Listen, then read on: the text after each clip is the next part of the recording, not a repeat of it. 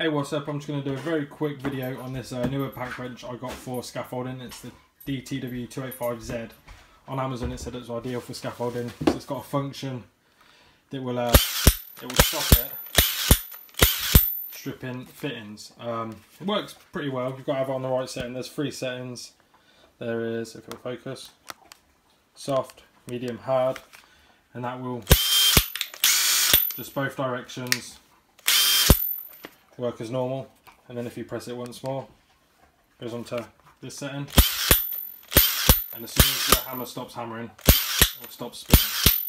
Um, it works probably 99% of the time. I've had a few a few fittings stripped but it's, uh, it just depends on how old the fitting is and whatnot so I'll put a bit of video clip of it working now.